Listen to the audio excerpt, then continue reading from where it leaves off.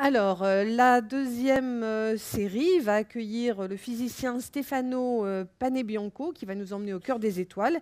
Les étoiles sont constituées d'atomes très différents, Roland Lou qu'on a parlé, qui sont aussi les mêmes que ceux qui nous entourent ou qui font ce que nous sommes. Vous découvrirez ensuite le monde totalement magique des supraconducteurs à haute température avec Catherine Pépin, qui est physicienne théorique, et elle vous présentera les propriétés totalement spectaculaires de la supraconductivité.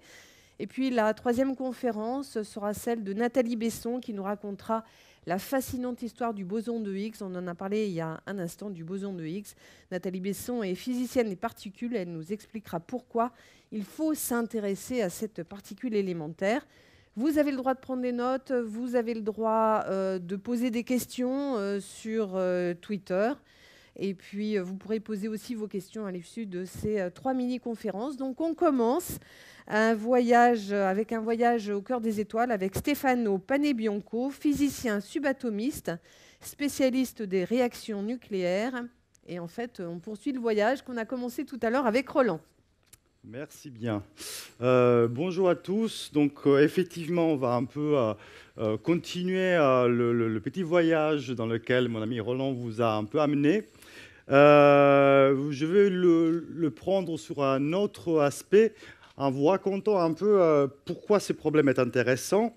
Et cet intérêt, en tout cas à moi, comment dirais-je, on peut le, ramener à mon plus jeune âge, lorsqu'au lycée, pour la première fois, on m'a montré ça. Alors, je me rappelle, j'avais dit, bon, euh, il y a plein de choses dedans, donc c'est ce que tout le monde connaît, j'imagine, c'est le tableau de Mendeleïev. Euh, qui en plus, pour ma nature qui est un peu psychorigide, a l'intérêt de tout bien caser, tous les éléments chimiques, donc euh, des plus légers, donc on a parlé d'hydrogène, euh, l'hélium, bah, le carbone, donc l'atome qui est à la base de la vie, des éléments plus lourds, donc jusqu'au fer. Il y en a en gros à peu près 120, dont 90 à peu près existent sur Terre de manière euh, naturelle. On peut les trouver sans, trop de problèmes. Euh, d'ailleurs, Roland, avec son histoire de, euh, de piste de nickel, vous a déjà montré un peu pourquoi on en trouve sur Terre. Il y en a d'autres, à part, disons, les, éléments qui sont plus lourds que l'uranium. Hein. ce sont les éléments en gros à partir de l'élément 93, qu'on ne trouve pas sur Terre, qu'on produit. Hein, un laboratoire ou, euh, par exemple, dans les centrales nucléaires, euh, lorsqu'on fait brûler, euh, lorsqu'on fait brûler de l'uranium, on produit donc, tout un tas d'autres éléments plus lourds. Donc, moi, à l'époque, quand j'étais jeune, je m'étais dit, bah, c'est très bien, ce tableau montre une grande diversité. Et après, on m'avait expliqué que les briques de base qui constituent tous ces atomes-là, elles sont les mêmes. Donc, on sait un atome, c'est un noyau constitué de protons, neutrons et des électrons. Donc, question, comment ça se fait qu'à partir de briques qui sont les mêmes, on arrive à créer une si grande diversité d'éléments chimiques? Et euh, si on se contente des noyaux atomiques, comment, à partir donc de ces briques, protons et neutrons, on peut créer une énorme variété de noyaux, parce que à ces euh, centaines d'éléments, euh, si je multiplie par le nombre d'isotopes par élément, on obtient euh, plusieurs centaines, voire un petit millier de noyaux qu'on est capable de former. Et donc, question posée, comment ces noyaux ont été créés et comment ils sont arrivés jusqu'à nous? Euh, lorsque moi j'ai posé cette question à ma prof de, chimie au lycée, euh, bon, bah, c'était pas Roland, donc la réponse a tardé à arriver parce qu'elle m'avait dit non, non, c'est trop compliqué, tu verras, tu apprendras plus tard. Euh, donc, bon, effectivement, j'ai appris, ça un peu plus tard lorsque je suis devenu, enfin, pas plus grand, plus vieux, disons, pas beaucoup grandi depuis. donc, du coup, la, la, réponse à cette question, bah, Roland vous a déjà donné un premier élément elles viennent de là, du Soleil. Alors moi, je vais me concentrer sur un cas, le, cas le plus simple, parce qu'effectivement, euh, ce qu'on appelle la nucléosynthèse, donc le processus ou l'ensemble des processus qui euh, amène à la forme des noyaux est relativement complexe, il y en a plein. Donc moi, je vais vous expliquer le plus simple, celui qui d'ailleurs nous intéresse parce qu'il a lieu dans notre Soleil. Donc comme disait Roland, notre Soleil, c'est une étoile de taille relativement petite, moyenne, disons, ce n'est pas, pas, une grande étoile. Euh, il est vieux, 5, hein, 5, milliards d'années, hein, il a vécu sa vie. Et pendant ces 5 milliards d'années, il a fait qu'une chose, et qu'une chose. Il a fait ça. Alors, bon, ça a l'air compliqué, mais on va y aller pas à pas. Donc, le problème central, c'est qu'on disait une étoile naît d'un gaz d'hydrogène, donc ce sont des protons. Donc j'ai déjà ma première brique. Je disais au départ, j'ai des briques, c'est mes protons et neutrons. En réalité, ce ne sont pas des briques fondamentales, mais pour, ce que, pour mon discours, on considère que ce sont les briques de base. Bon, donc jouons Lego. Comment, à partir de protons, je peux former des éléments plus lourds. Donc je me dis, l'élément plus lourd, immédiatement plus lourd que, l'hydrogène, c'est l'hélium. Donc l'hélium contient deux protons, donc je pourrais dire, bah, je prends deux protons, je les mets ensemble et j'ai fait de l'hélium. Bon, ça, ça ne marche pas. Ça ne marche pas pour une raison très simple, c'est que, et ça tout le monde le sait, deux protons, ce sont des particules chargées positivement. Bon, s'ils sont chargés positivement, donc du coup, on a étudié au lycée que des particules chargées du même signe, ils voient une force répulsive. Donc ils n'ont aucune envie de se mettre ensemble. Donc la force électromagnétique, l'interaction électromagnétique qui, génère, donc est la responsable de cette répulsion, m'empêche, à partir de deux protons, de créer un atome, un noyau, disons un noyau d'hélium. Donc il faut passer par une ruse. Et la ruse est la suivante, c'est une ruse que la nature euh, emploie constamment, et la ruse, c'est de transformer un proton en neutron. Alors ça, ça peut paraître compliqué parce que je vous ai dit qu'on avait des briques, donc déjà j'ai une brique et je la transforme en une deuxième brique. Mais pour faire cela, je dois utiliser une des deux interactions, une de, deux forces nucléaires, ce qu'on appelle la force faible, qui a comme caractéristique, comme propriété, celle de savoir transformer un proton un neutron, et d'ailleurs vice-versa. Euh, et donc, lorsque je transforme un proton en neutron, avec émission, vous le voyez ici, donc d'autres particules, donc euh, en réalité donc un positron, donc euh, le cousin antimatière de l'électron et un neutrino. mais bon, cela ne m'intéresse pas. Donc en gros, donc, j'ai transformé un proton en neutron. Donc là, je, je n'ai plus deux briques chargées positivement, mais j'ai deux briques dont une est chargée positivement et l'autre est neutre. Donc là, au niveau de la, répulsion due à, la force électromagnétique, j'ai aucun problème. OK? Donc j'ai créé comme ça, donc avec un système proton-neutron, j'ai créé quoi? J'ai créé ce qu'on appelle un isotope de l'hydrogène. Donc un isotope de l'hydrogène qu'on appelle le deutérium. Enfin, le noyau on appelle le deuton, mais enfin, c'est le deutérium. OK? Donc c'est un système lié proton-neutron. Bon. Alors maintenant, je suis toujours avec mon problème. Je vais arriver à l'hélium, mais euh, donc il faut, il faut y aller par étapes. Donc j'ai mon deuton, Qu'est-ce que je fais? Je prends un deuxième euh, noyau d'hydrogène, donc un deuxième proton, et à ce moment-là, vous allez me dire, oui, mais donc je me retrouve toujours avec une charge positive là, mon deutéron, une charge positive là, mon, mon, proton, donc il y aura toujours de la force répulsive, absolument.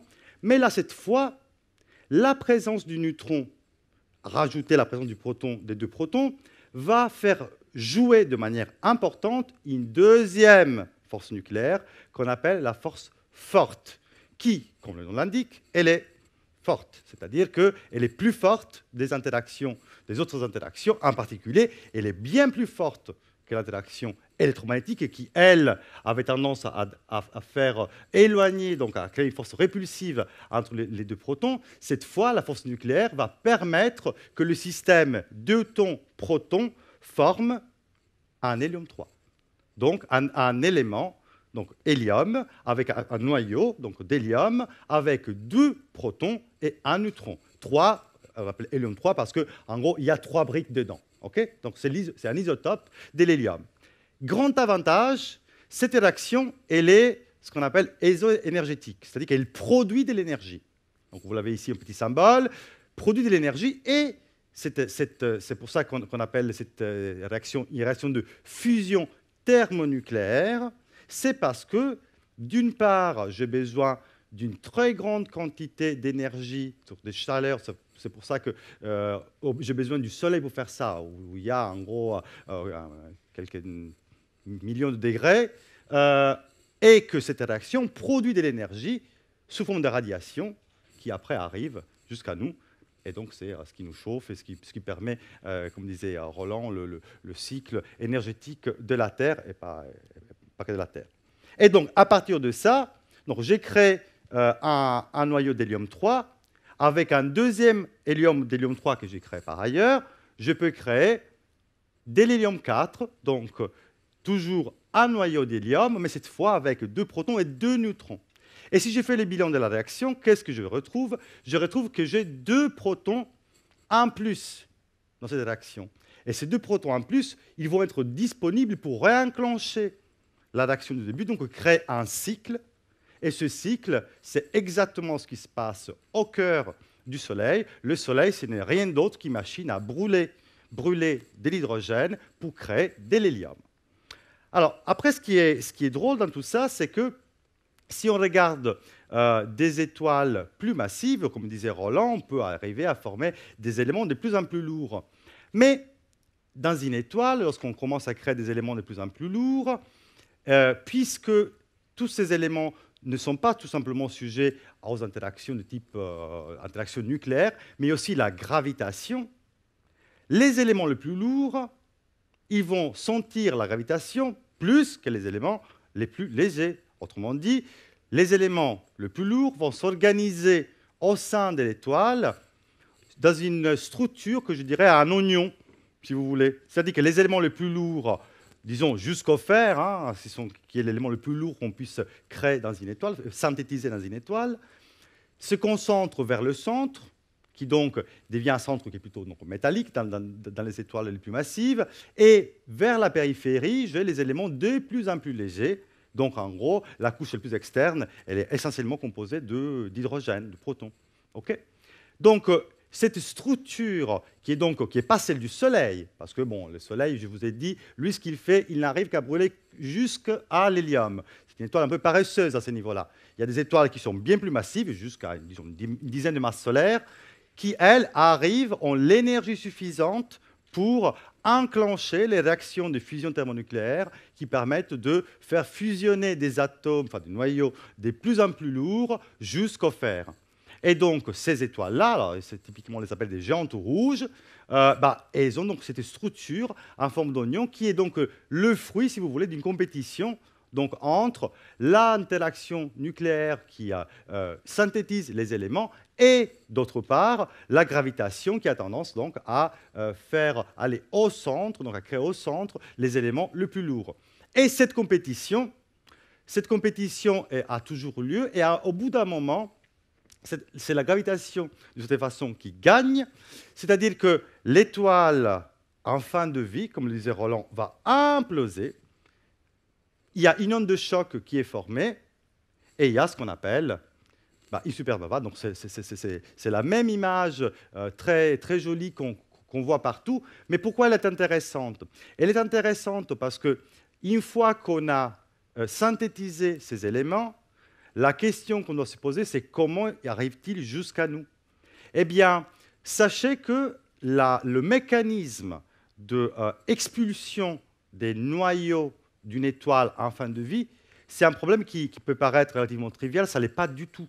C'est un sujet qui aujourd'hui même est débattu et étudié, en particulier au CEA, on l'étudie de manière euh, très importante parce qu'il y a encore beaucoup d'inconnus vis-à-vis de la façon dont ces étoiles euh, éjectent leur matière. Impossibilité sur laquelle on pense qu'elle est raisonnable et elle est à mesure d'expliquer beaucoup de la matière qui était expulsée, c'est donc l'explosion des supernovae. Mais il y a aussi d'autres mécanismes plus complexes qu'on maîtrise, je dois dire, assez mal pour le moment, qui expliquent comment, par exemple, à partir des éléments les plus lourds qui sont synthétisés dans une étoile, donc on a dit le fer, on peut créer par des réactions nucléaires qui sont différentes, qui, qui, mettent en jeu des flux de neutrons très importants. Ce sont des réactions de capture où les noyaux lourds captent des neutrons pour se transformer en des noyaux plus lourds et encore plus lourds pour arriver jusqu'à des éléments qu'on trouve sur Terre, par exemple le plus lourd, essentiellement le plomb. Ok? Donc ces mécanismes sont compliqués et en plus, On essaie, à toute petite échelle, de reproduire certains de ces mécanismes. Par exemple, euh, la euh, fusion thermonucléaire qui donne lieu à l'hélium, bah, c'est typiquement ce qu'on essaie de faire pour produire de l'énergie dans un projet que vous avez tous euh, peut-être entendu parler. Il s'appelle ITER, qui verra le jour dans les années prochaines dans le sud de la France, à Cadarache. Donc on essaie là aussi de reproduire un laboratoire bah, les conditions de la nucléosynthèse telle qu'elle a lieu euh, dans le Soleil, certes pendant un moment beaucoup plus court que les 5 milliards d'années euh, de vie du Soleil.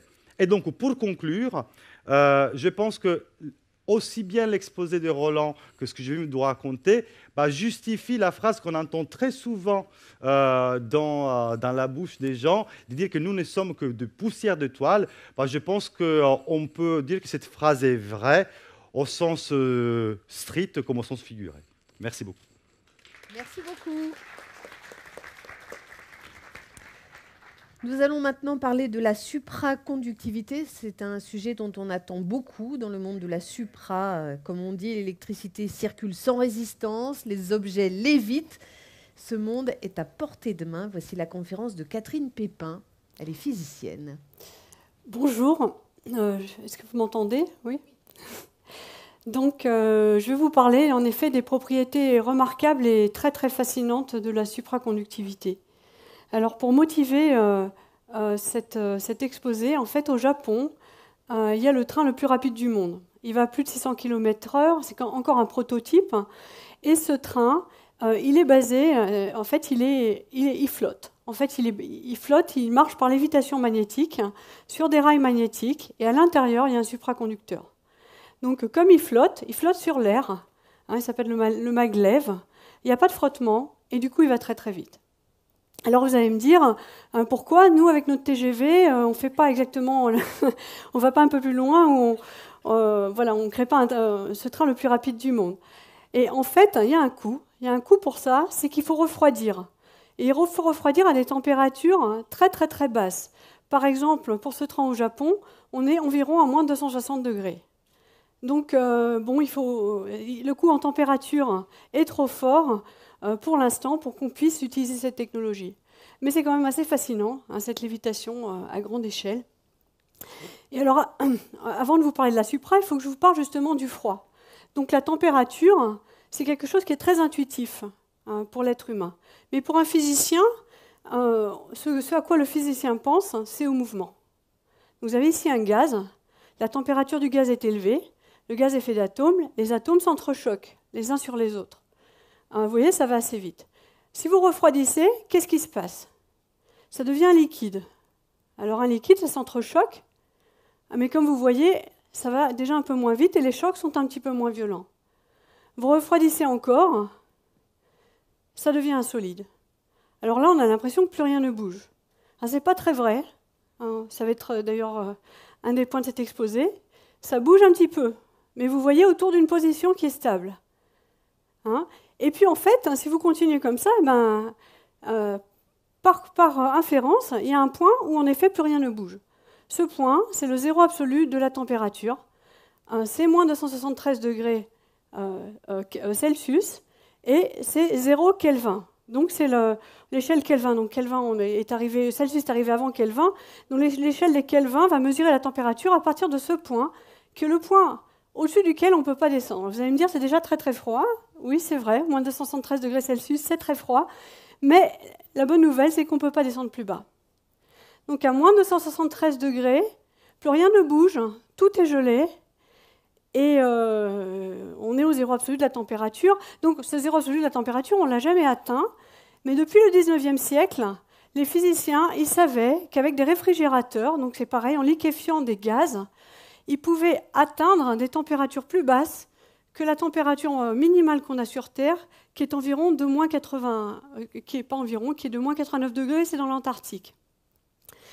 Et en fait, du coup, il y a eu à cette époque-là une course à atteindre ce zéro absolu, qui était vraiment très fascinant. Hein. Qu'est-ce qui se passe lorsque plus rien ne bouge Que devient la matière euh, lorsqu'on s'approche de cette température absolument minimale Et là, je vous donne rendez-vous en Hollande vous voyez cet homme qui, est, qui, est, assis, qui, est, à genoux, c'est Camerlingons.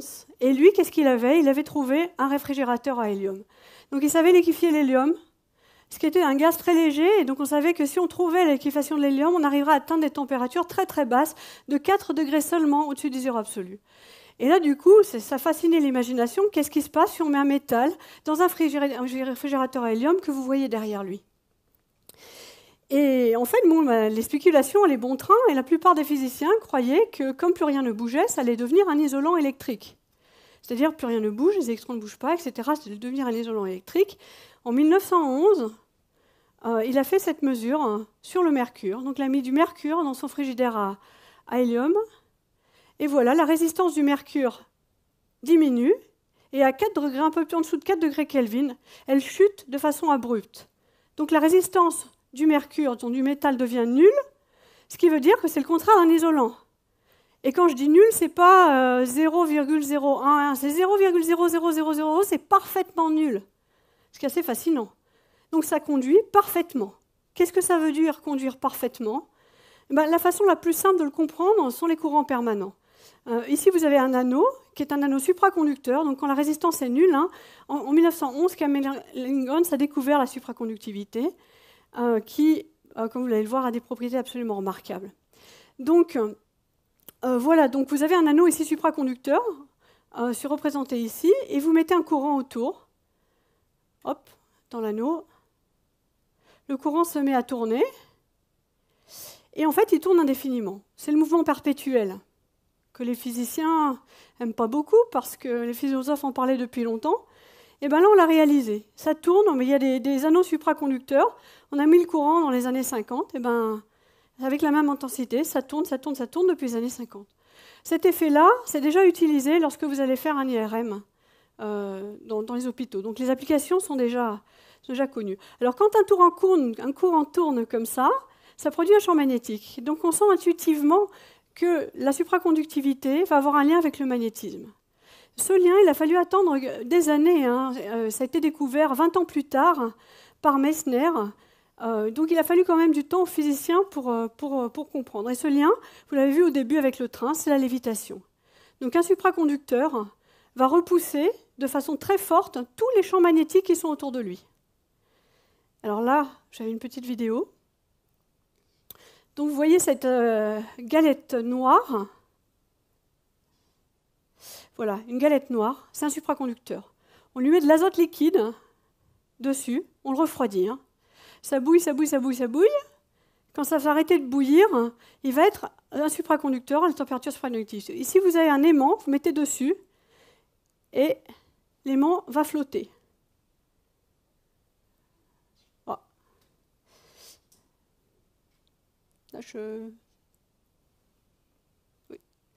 Alors, en fait, il flotte, l'aimant flotte, et il y a un autre phénomène qu'on va voir si la, vidéo euh, avance, c'est un phénomène d'ancrage.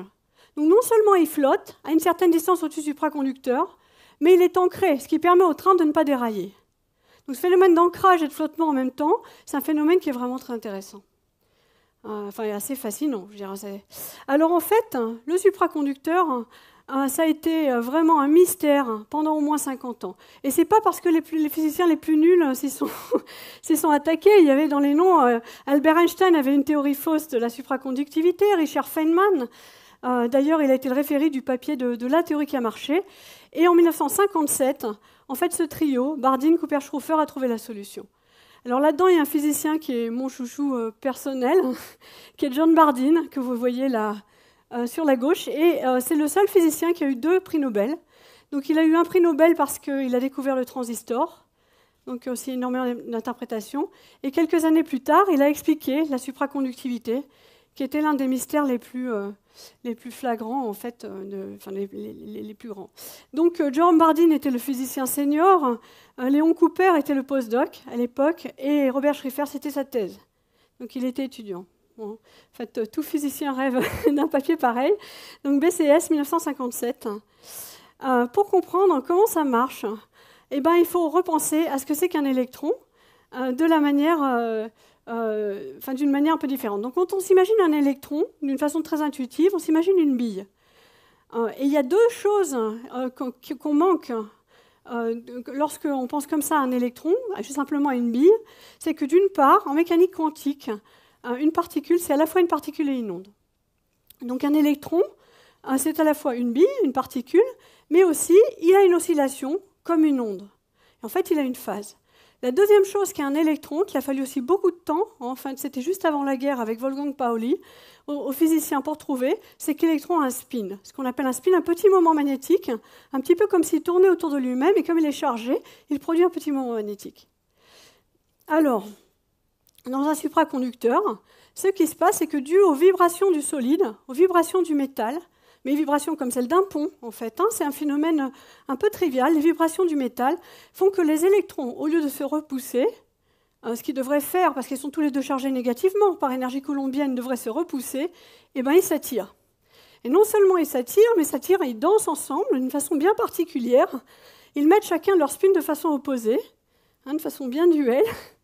Et la paire, la paire de Cooper, hein, d'où le, prix Nobel pour, pour Léon Cooper, la paire de Cooper, euh, elle, elle est en phase. Donc ils mettent aussi leurs ondes en phase. Chaque électron qui a son onde met l'onde en, face de l'autre. Et le métal devient un métal qui est fait uniquement de paires de Cooper. Ah, donc ce duo, en fait, hein, ce couple euh, d'électrons, on peut décrire ça aussi comme une danse, euh, sont associés, sont associés euh, et mettent leurs ondes quantiques en phase. Et du coup, en fait, toutes les ondes quantiques de toutes les paires de Cooper se mettent en phase, se mettent en synchronicité. Et au lieu de penser à simplement des particules séparées, il faut penser à une vague, à une vague quantique, un peu ici comme on voit là, le condensat quantique, hein, un peu dans l'océan. Chaque poisson est en synchronicité avec ce que fait un autre poisson vraiment, vraiment très très loin. Là, c'est pareil. En fait, c'est une espèce de vague quantique qui déferle dans le supraconducteur et du coup, en fait, cette vague quantique est complètement insensible aux impuretés. Alors, les impuretés, c'est ce qui produisait la résistance. Hein. Quand vous avez des impuretés dans le métal, les impuretés, il y en a partout. Euh, même la température, on voyait, il y avait des chocs. Eh ben, euh, les électrons ils vont se taper les uns contre les autres, aller en arrière. Ici, il ne se passe rien de cela, parce que toutes les paires de Cooper, comme une armée, se mettent dans une espèce d'énorme vague à marcher tous ensemble. Et c'est un phénomène parfait, hein, qui est très surprenant pour un physicien, euh, puisque la conductivité est infinie. Alors, maintenant, ce qu'il faut voir, c'est que ça a toujours un coût, puisque en fait, on est ici toujours à très très basse température. Vous vous souvenez, on est près du zéro absolu, et ce qui se passe, c'est que la température, hein, lorsqu'elle est un peu trop élevée, elle brouille les vibrations du solide, et le phénomène disparaît. Maintenant, si on avait le phénomène de supraconductivité à température ambiante, ben évidemment, ça changerait complètement le paysage énergétique vous pourriez transporter du courant sans perte d'énergie, vous pouviez oublier les lignes à haute tension à 400 000 volts, vous pourriez en plus créer des champs magnétiques très forts, euh, dont certains sont déjà utilisés au LHC, donc euh, euh, l'intervenant suivant va en parler, comme accélérateur de particules. Donc en fait, les possibilités, ce, qui est, en jeu est, vraiment énorme au niveau technologique. Et bien jusque dans les années, on va dire presque la recherche était pratiquement arrêtée parce qu'il y avait presque un théorème qui disait qu'on n'arriverait jamais à dépasser une dizaine de degrés euh, au-dessus euh, du zéro absolu. Hein, parce que les vibrations du solide euh, qui font que les électrons s'attirent, ce n'est pas une force très forte. C'est une force, mais elle n'est pas, pas très forte.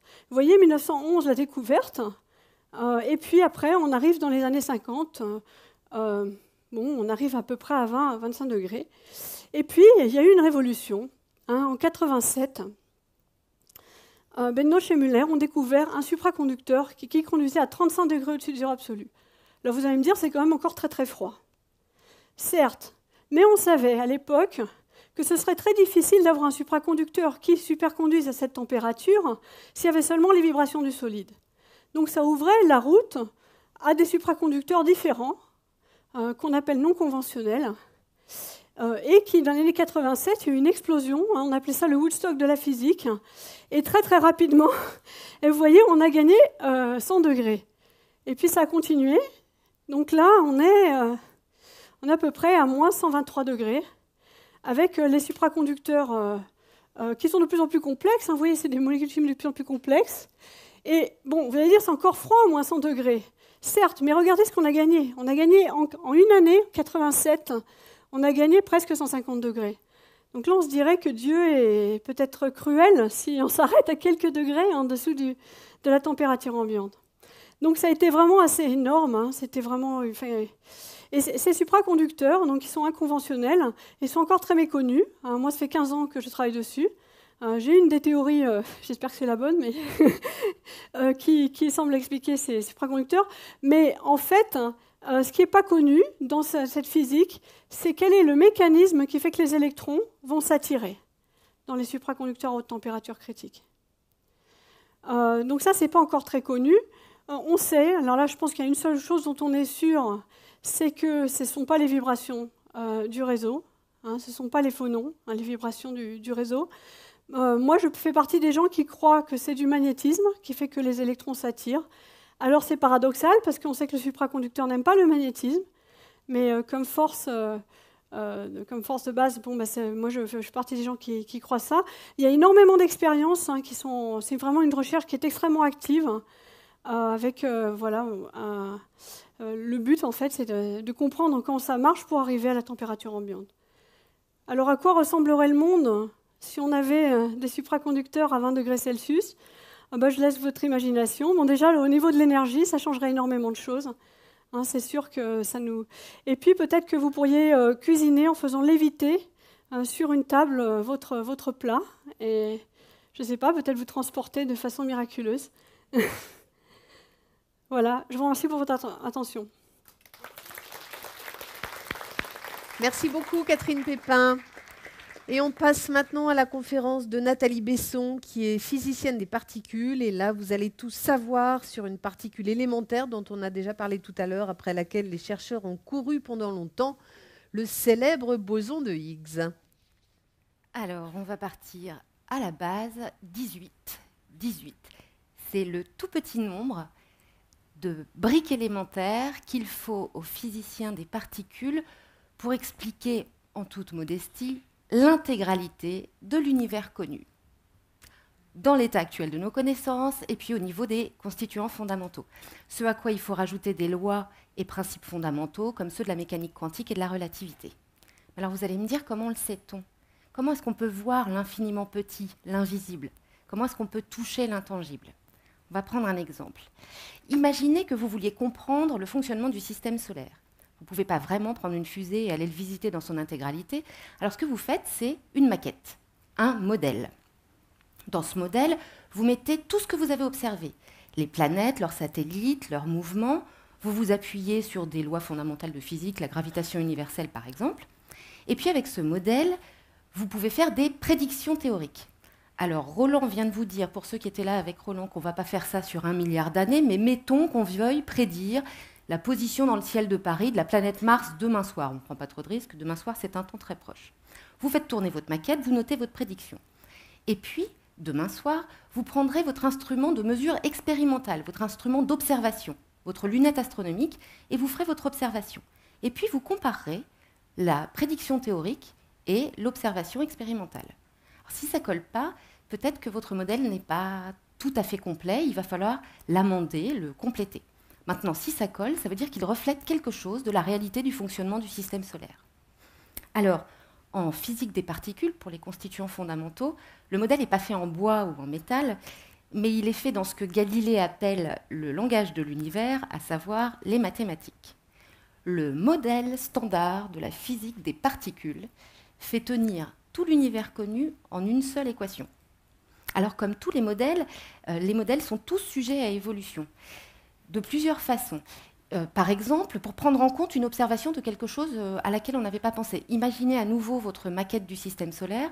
Si vous n'avez pas mis dedans les satellites de Jupiter, par exemple, après observation des, des satellites, pour que votre modèle soit fidèle, il faudra les rajouter dans le modèle. A contrario, parfois, c'est le modèle qui donne des indices sur ce qu'on devrait pouvoir observer. Par exemple, c'est en constatant des écarts entre les calculs et les observations des orbites d'Uranus qu'on a intuité l'existence de la huitième planète Neptune, avant son observation. Et l'histoire du boson de Higgs, c'est un peu pareil. Alors le modèle standard de la physique des particules, il a été élaboré tout au cours du XXe siècle par des allers-retours comme ça entre théorie et expérimentation. Il décrit deux grandes familles de particules. les fermions, les particules de matière, qu'on appelle fermions du nom du grand physicien Fermi, euh, sont au nombre de 12. La plus célèbre, on en a parlé, c'est l'électron, mais il a aussi deux cousins, le tauron et le muon, et puis aussi les neutrinos et les quarks. Et ces particules de matière interagissent selon euh, quatre interactions fondamentales, dont certaines qui ont été décrites par Stefano. Donc il y a l'interaction forte, qui est par exemple responsable de la cohésion nucléaire. Il y a l'interaction faible, dont vous avez compris qu'elle était responsable par exemple d'une partie du fonctionnement du Soleil. Et puis l'interaction électromagnétique, qui est responsable de plein de choses, dont le fonctionnement de ce vidéoprojecteur. Et de la même façon que vous et moi, on pourrait euh, interagir en échangeant un objet ou des SMS, ces particules de matière interagissent en échangeant un autre type de particules, messagères de l'interaction qui est en jeu, et qu'on appelle des bosons vecteurs. Alors boson du nom du grand physicien Bose, et vecteurs parce qu'elles sont vraiment vectrices de l'interaction qui est en jeu. Elles sont au nombre de 5. Alors, le modèle ainsi décrit est extraordinairement prédictif. Qu'est-ce que ça veut dire? Ça veut dire que tous les calculs qu'on fait avec l'équation donnent des valeurs qui sont en accord, parfois avec une précision redoutable, avec l'observation expérimentale. À un léger détail près, qui est que l'équation, dans l'état où elle était au début des années 60, imposait, pour des raisons de, de, bah, je ne vais pas dire le gros mot de symétrie, pour des raisons vraiment euh, incontournables de physique fondamentale, que les particules soient de masse nulle. Or, on observait des particules massives. Donc, il a fallu amender le modèle. De nombreux théoriciens se sont mis au travail, dont M. Peter Higgs, et ils ont abouti à une nouvelle forme de l'équation qui prenait en compte le mécanisme qui donne sa masse aux particules et qui était toujours aussi prédictif que la première. Bingo. Avec une conséquence, l'introduction dans le modèle d'une nouvelle particule, d'un genre nouveau, un boson, mais scalaire, c'est-à-dire pas vecteur de force, le fameux boson de Higgs. Alors, quelle meilleure euh, façon de valider cette théorie que de mettre en évidence, d'observer le boson de Higgs? C'est parti, il n'y a plus qu'à. Alors, il y a un truc à savoir, c'est que la plupart des particules sont instables, euh, sauf celles qui nous constituent, hein, bien sûr. Mais sinon, sitôt créées, sitôt disparu, désintégré dans d'autres particules. Alors quand je dis sitôt, pour vous donner une idée, c'est des temps extraordinairement courts. Par exemple, parfois 10 moins 26 secondes. Si je devais vous l'écrire, ça ferait 0,10 millions de milliards de milliards de zéros une seconde. Alors évidemment, pour les étudier, ça n'est pas évident. Donc qu'est-ce qu'on va faire? On va créer ces particules, comme ça on sera là pour les regarder se désintégrer, et on pourra les étudier. C'est ce que fait le LHC, donc le Large Hadron Collider, ou Grand Collisionneur de Hadron. Donc à 100 mètres sous terre, sous la frontière franco-suisse que vous voyez matérialisée là par les, pointillés blancs, on fait se collisionner à extrêmement haute vitesse des paquets de protons dans un tunnel qui fait 27 km de circonférence. Alors les protons, vous l'avez compris de l'exposé de Stefano, c'est des noyaux d'atomes d'hydrogène. Donc au tout début de l'histoire, il y a une simple bouteille d'hydrogène. Et alors, ce qui est pratique, c'est ce qu'il faut savoir, c'est qu'elle est, est petite, cette bouteille d'hydrogène, mais il y a assez de protons dedans pour faire fonctionner le LHC pendant 4 milliards d'années. Donc, on est à peu près tranquille de ce point de vue-là. Les protons, les atomes d'hydrogène, donc les protons, sont épluchés de l'électron qui leur tourne autour par un champ électrique, et puis ils sont mis en paquets et accélérés par une succession d'accélérateurs toujours plus puissants. D'abord le booster, qui envoie les paquets de protons dans le synchrotron à protons, qui lui-même va envoyer les paquets dans le premier des anneaux géants du CERN, le supersynchrotron à protons, qui fait 7 km de circonférence déjà. Et puis le SPS, donc le supersynchrotron à protons, va envoyer une partie des paquets de protons dans le LHC dans un sens, l'autre partie dans l'autre sens. Et dans le LHC, ces protons ont une vitesse de 99, faut que je compte, 99,999991 de la vitesse de la lumière, donc très élevé. Alors, en certains points de l'anneau, on dévie légèrement la trajectoire quasi circulaire des paquets de protons pour les faire entrer en collision. Cela permet d'obtenir dans des volumes tout petits des énergies de presque 14 téraélectronvolts. Et alors, en vertu de la célèbre formule d'Einstein, E pour énergie égale masse pour masse, euh, égale m pour masse, pardon, C2, la vitesse de la lumière au carré, et eh bien de cette énergie, on peut sortir des masses et donc des nouvelles particules. Euh, et puis, euh, quand, ah oui, alors ce qu'il faut que je vous raconte, c'est 1 téraélectronvolt. 1 téraélectronvolt, c'est à peu près l'énergie d'un moustique en plein vol. Pas très impressionnant, sauf qu'au LHC, cette énergie, elle est concentrée dans un volume 1000 milliards de fois plus petit que celui d'un moustique. Et alors, comme on cherche des particules, par exemple le boson de Higgs, dont on ne connaissait pas la masse, mais qui pourrait être de masse élevée, eh il faut qu'on s'en donne les moyens et donc qu'on ait des énergies élevées.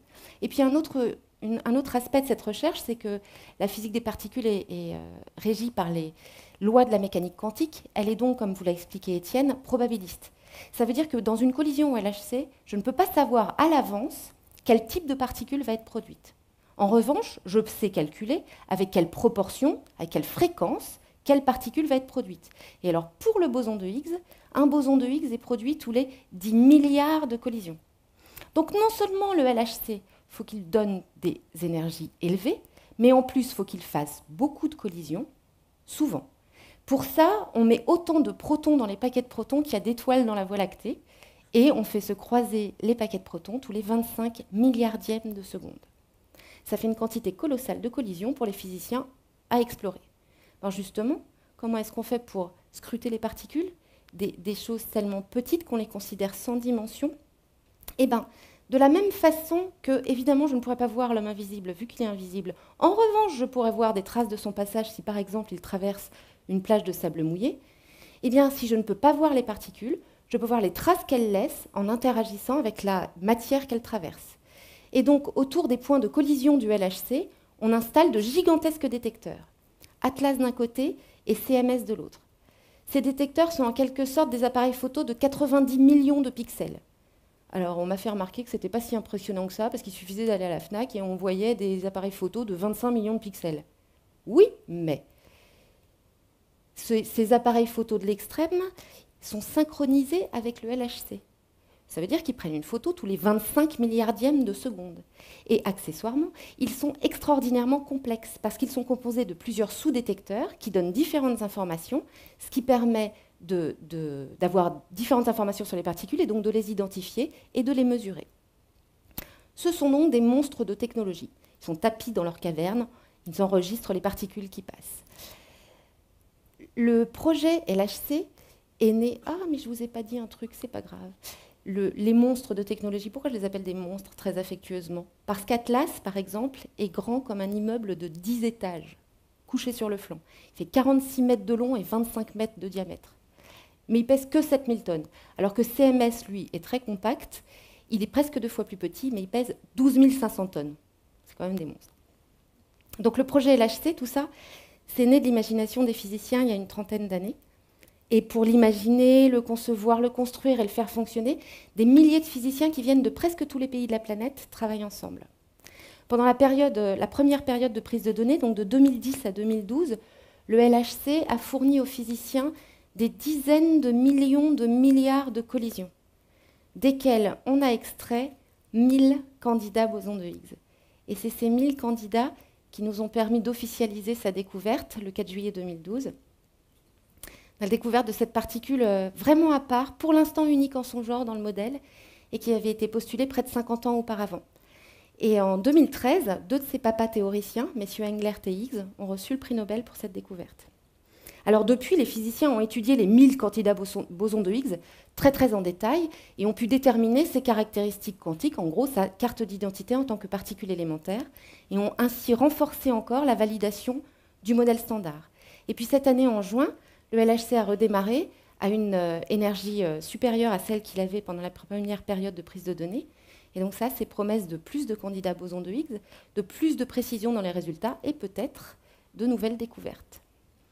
Alors je vous ai dit, j'espère vous avoir convaincu, que le modèle standard de la physique des particules euh, expliquait remarquablement bien l'univers connu, mais pas du tout l'inconnu. Pas la matière noire dont a parlé Roland, pas l'énergie noire qu'il a peut-être évoqué un petit peu. Puis par exemple, pas pourquoi les théoriciens se prennent encore la, tête, n'arrivent pas à mettre la, la gravitation dans l'équation. Donc c'est pas la fin de l'histoire, l'aventure continue. Merci.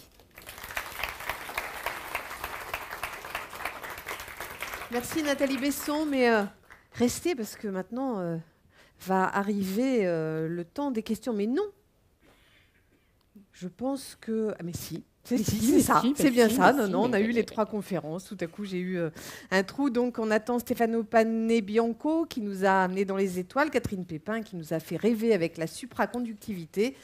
Et donc, euh, on reste avec vous, Nathalie Besson. Euh, vous nous avez raconté le boson de Higgs.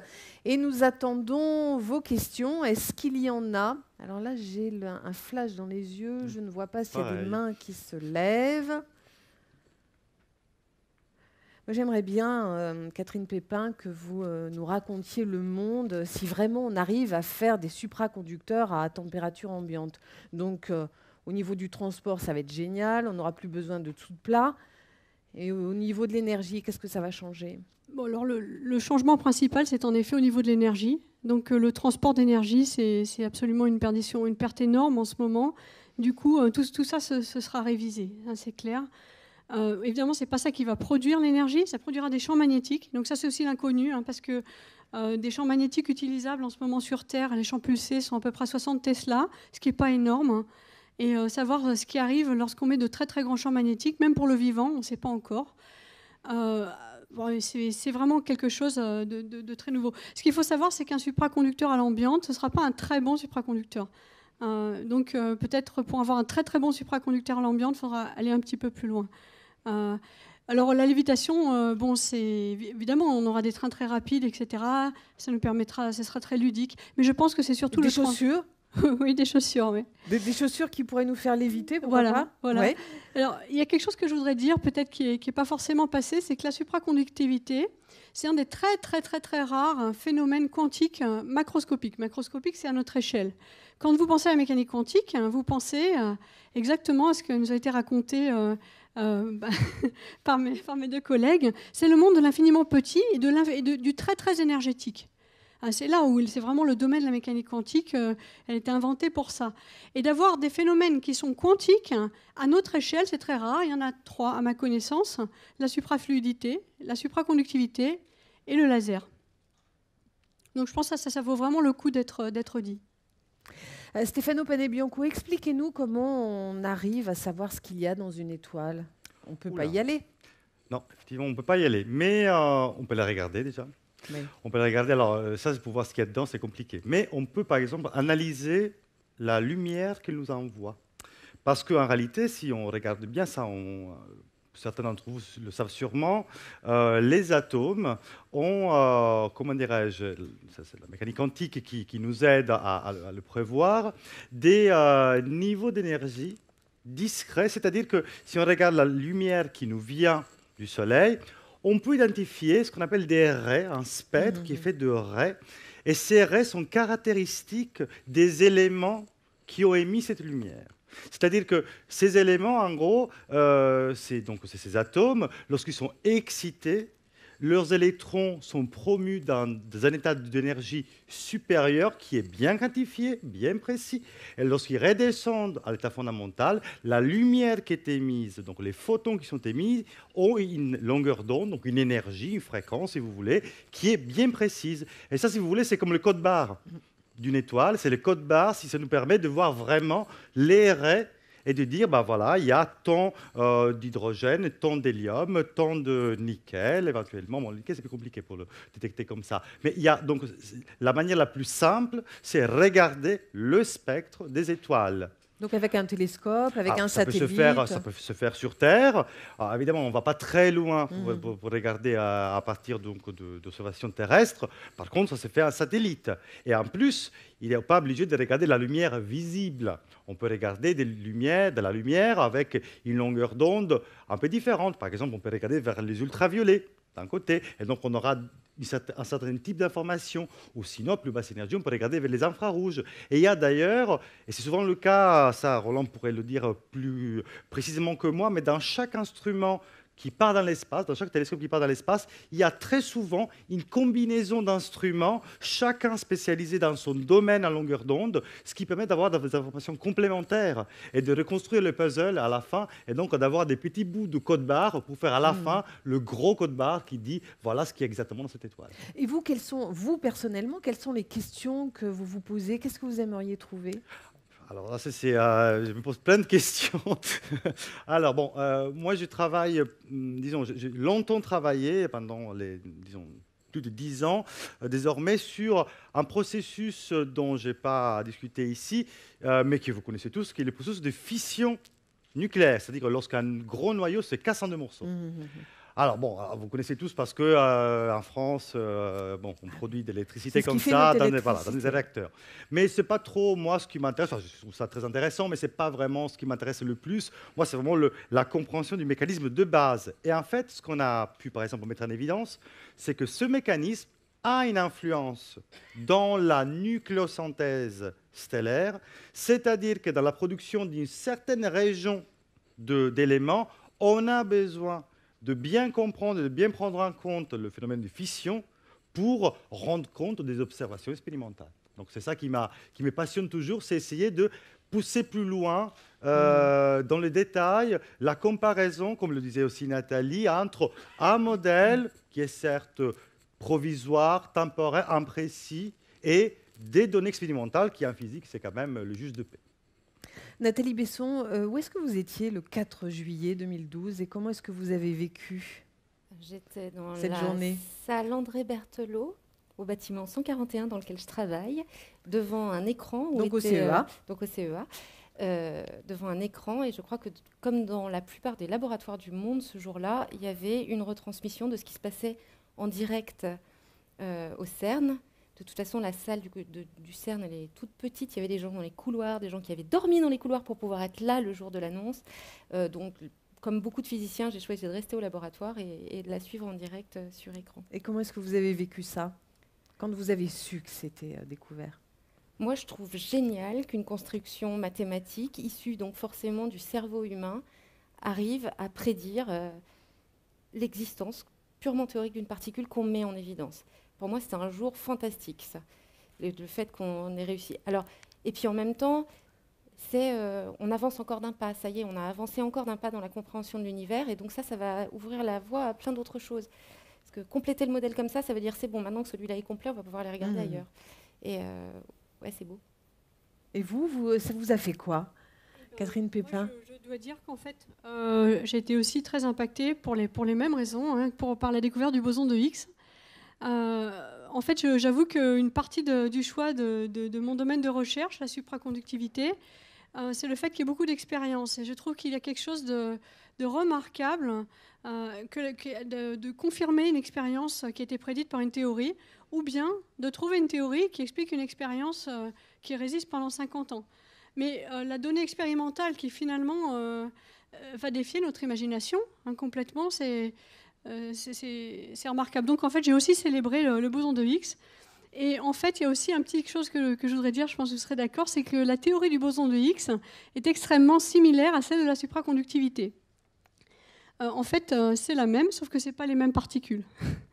Mais c'est la même au sens de la, de la théorie des champs, ce qui veut dire qu'en fait, Dieu ou, enfin, ou la nature ou je ne sais pas comment vous l'appelez, la conscience, en fait, crée les mêmes genres de phénomènes à des échelles d'énergie qui n'ont rien à voir.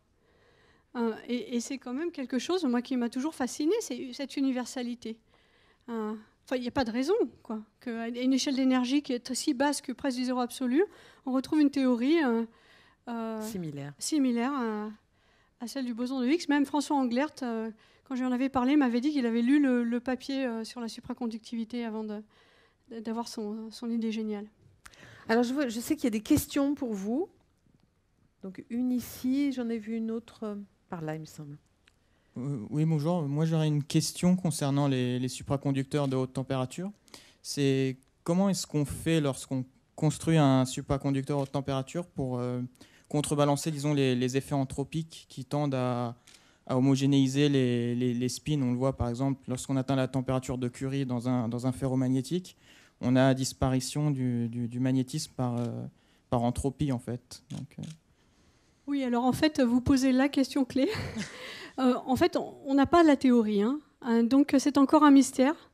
Donc je ne peux pas vous dire hein, c'est pour telle et telle raison. Donc la question, la question que, que, vous avez posée, qui est vraiment la question clé pour les supraconducteurs à haute température, c'est comment est-ce qu'une température aussi élevée ne détruit pas complètement la supraconductivité? Quel est le phénomène d'appariement des paires de Cooper hein, qui fait que ça survit à des températures aussi hautes. Et on ne sait pas.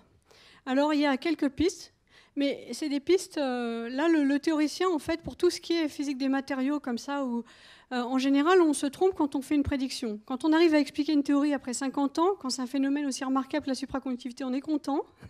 Mais c'est un domaine où l'expérience est reine, en fait. Et du coup, en fait, ces supraconducteurs à haute température, hein, donc ils sont maintenant observés à moins 100 degrés ou 160 degrés au-dessus du zéro absolu, ce qui, est, ce, qui est, énorme pour un supra. Eh bien, ils ont tous les défauts possibles qu'on aurait pu penser au niveau théorique. Ils sont proches d'une phase isolante, une phase qui ne conduit pas du tout, du tout, du tout, comme un isolant, un isolant électrique. Ils sont proches d'une phase très magnétique. Alors, on sait que la supraconductivité déteste le magnétisme. En plus, ce sont des couches. Ce sont des supraconducteurs qui sont mis par couches. Donc ils sont à deux dimensions et on sait qu'une phase, une vraie phase, ne prend forme qu'à trois dimensions. Alors deux dimensions, d'espace comme une feuille de papier, ça favorise les fluctuations quantiques. Donc la mécanique quantique est plus présente. Ça c'est une piste. Euh, il y a d'autres pistes, celle que moi je privilégie, c'est que euh, euh, sous certaines conditions, avec certaines conditions de symétrie, la supraconductivité aime le magnétisme. Ça ne veut pas dire que ça ne va pas repousser les champs magnétiques, mais au niveau microscopique, elle va s'accommoder d'un environnement magnétique, et même c'est ça qui va apparier les paires de Cooper. Euh, je ne sais pas, voilà, je vous donne simplement des pistes, hein, mais c'est vraiment encore un sujet complètement ouvert. Avec même récemment en fait des, des, expériences qui ont été faites sur des phases mystérieuses observées dans ces composés qu'on a, qui ont, des noms un, peu, un, peu abscons, mais donc je ne vais, pas vous les dire ici. Euh, mais ce que je veux dire, c'est que depuis 30 ans, ces composés-là ont fait aussi faire de, progrès remarquables sur les expériences. Euh, L'ARMN, qui est la version scientifique de, de l'IRM que vous avez en médecine, ça a été développé euh, pour étudier le magnétisme des matériaux. Ça a fait d'énormes progrès de résolution en 30 ans. De même, le microscope électronique, euh, ça faisait quelque chose qui est, voilà. Si vous me donnez mon avis, je pense que dans 10-15 ans maximum, on aura trouvé tout. On attend ça avec impatience. D'autres questions? Oui? Bonjour. Oui, bonjour. Donc moi j'ai une question plus naïve. En tout cas, merci à chacun dans vos spécialités de prendre des images, euh, des analogies euh, simples pour, pour nous faire partager vos complexités de, de, recherche. Donc concernant les supras, j'ai beaucoup aimé pour vous, nous faire expliquer la résistivité nulle, les paires de Cooper et les, et, les bancs de poissons. Enfin, je vais essayer de retenir ça. Alors, concernant l'effet de lévitation, alors ça, c'est fascinant, mais, est-ce que vous avez une image aussi à nous donner? Comment ça se fait que ce, matériau, une fois qu'il est supra, eh ben, il, arrive à créer quelque chose de l'extérieur qui va l'embêter? Enfin, ça, c'est assez. Euh, excusez-moi, en fait, je, devais le dire, puis j'ai oublié de le dire dans l'exposé. Bah, voilà. Donc c'est parfait. En fait, l'image la plus simple que j'ai, c'est que vous vous souvenez que en fait, la, particule, euh, en fait, l'électron, il a un, ce qu'on appelle un spin, un petit moment magnétique. qui est une caractéristique des particules, des particules élémentaires. Un électron est une particule élémentaire euh, ce qui veut dire qu'en fait on ne connaît pas sa taille, en gros. Mais euh, on sait qu'il a un petit moment magnétique qu'on connaît parfaitement. Et vous voyez, quand les paires de Cooper se forment, les moments magnétiques euh, se mettent en opposition. Donc c'est une image très simple qui fait qu'à grande échelle, en fait, le magnétisme est repoussé. bon, il y a des voilà, donc il y, a des images aussi un peu plus, je dirais, avec des courants de bord. Donc le supraconducteur crée des courants autour du supra. Je pense que cette image-là est très très simple. Hein. Donc vous voyez les deux, les deux petits électrons, ils avaient leur mmh. paire ensemble, ils se loquaient. Donc en fait, la résultante est nulle. Il y en a un qui va vers le haut, un qui va vers le bas. Bon, ok. Je... Voilà. D'autres euh, questions C'est juste avec vos supras non conventionnels, ça marche aussi? Je veux dire, le, le, côté. Euh, oui, il faut que la, oui, il y, a des, il y a des règles de sélection de symétrie, un peu comme pour les particules élémentaires. Euh, dans notre jargon, ça ne marche que si le magnétisme est ce qu'on appelle antiferromagnétisme, donc oscillant, et que la symétrie est d'IOF. Donc il y a des règles de symétrie euh, qui font que ça peut marcher, mais ça ne marche pas dans tous les cas. Ça fascine hein, le monde de la supraconductivité. C'est presque un monde magique. Hein. Oui, ça l'est. D'autres questions pour Stéphane, Stéphano Panebianco Je vois deux questions ici, puis après on passera à la série suivante. Est-ce qu'on peut approcher des micros devant, s'il vous plaît? Ah, pardon, il y en a encore une là. Oui, euh, bon, bonjour. J'ai une question sur euh, une des applications de la supraconductivité. C'est ITER, puisqu'on parle de fusion aussi. Est-ce qu'on peut donner quelques, quelques éléments prospectifs dans le domaine? La Supra, la Supra hein, même si on utilise des, des Bah, éléments on Supra. utilise quand même de la Supra, Oui, je oui, pense. bien dans- sûr, bien sûr. Mais euh, ce n'est pas le but euh, principal d'ITER. Le but d'ITER est de créer un plasma euh, qui, en son sein, peut euh, euh, voir des euh, réactions de fusion thermonucléaire contrôlées pendant un temps euh, raisonnable, dans la perspective d'en avoir un démonstrateur euh, de taille à peu près industrielle. Euh, alors, la, la Supra est utilisée pour plein de raisons là-dedans. Alors, je ne connais pas les détails. Ce que je peux vous dire, c'est que lorsque vous faites une action de ce type, la plus grande difficulté que vous avez, mis à part le fait qu'il faut entretenir ce plasma Mhm. en circulation, ce qui n'est pas simple, c'est la résistance de vos matériaux.